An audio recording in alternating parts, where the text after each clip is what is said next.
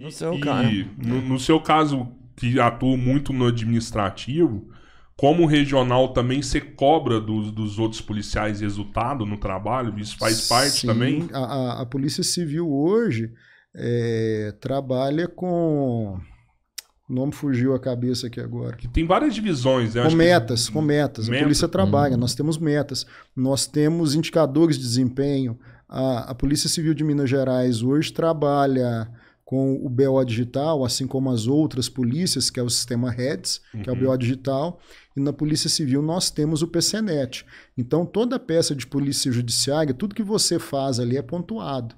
E a gente tem como auferir eh, a produtividade de cada policial. Então tudo é auditado e tudo é quantificado. Então nós temos condição de avaliar quem produz mais, quem produz menos. Né? Mas o que, que é um indicador ruim, por exemplo? Tipo, ah, você tem muito homicídio aqui na, na região, isso é um indicador ruim. É indicador péssimo. Você vai atrás do delegado de, do- de, de homicídios para cobrar dele isso aí? Justamente, nós temos que eh, ter um diagnóstico. O que, que aconteceu que aumentou o número de homicídios? O que está acontecendo? Qual é a motivação desse homicídio? Quem são os autores desse homicídio? Para trabalhar para que isso não ocorra, né? para reduzir esses índices, principalmente dos crimes violentos.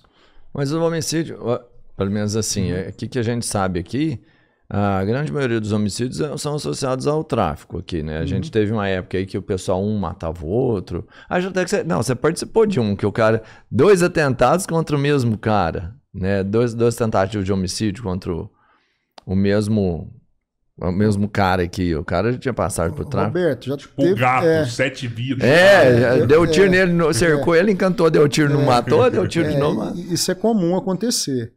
É, então, o que, que a gente trabalha? O, o- o problema do homicídio é aquele é, homicídio de inopino, aquele passional, aquele que não dá sinal. Né? Então, assim, é, nós trabalhamos para reduzir isso, pra, e principalmente tirar essa pessoa que está cometendo o crime de circulação e apurar o crime rápido, porque o que, que a gente vê na- no contexto do homicídio? É, quando você tem um crime desse, às vezes na rua, o pessoal fala quem cometeu o crime, mas levar isso para dentro do inquérito é difícil fazer a prova. Então, aquela pessoa que é parente, que é amigo do outro que morreu, vai cobrar, vai fazer justiça com as próprias mãos. Então, a gente tem que prender esse cara rápido para colocar ele no sistema, na, na polícia penal, para evitar que socorra e dê uma resposta para a família. Ó, o cidadão que matou o seu parente está preso.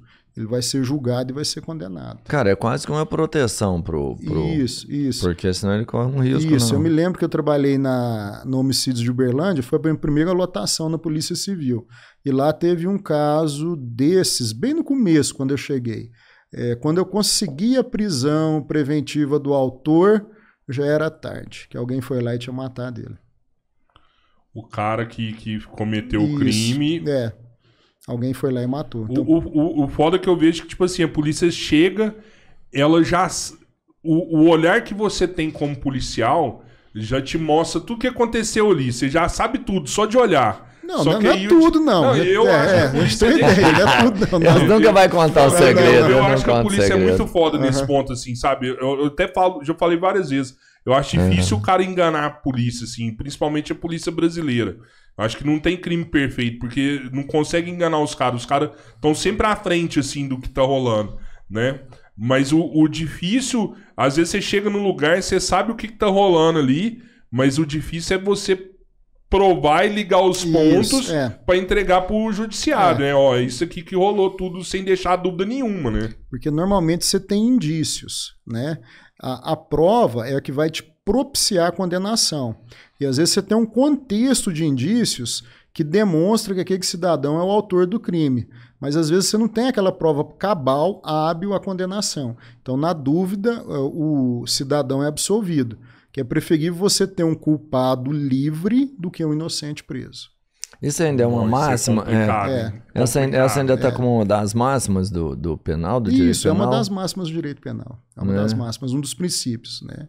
Então, assim, é, é- é triste porque a gente às vezes chega aquele caso que, assim, é, você sabe que aquele cara foi o autor daquele crime, mas você não consegue provar. Então, esse é complicado. Então, aí você tem que provar por outros meios. É, ho- hoje é a eletrônica, é, a, a estudo da cena do crime, como você falou, Rodrigo, uma perícia muito bem feita na cena do crime, para você colocar o autor na cena do crime. Isso é que é importante.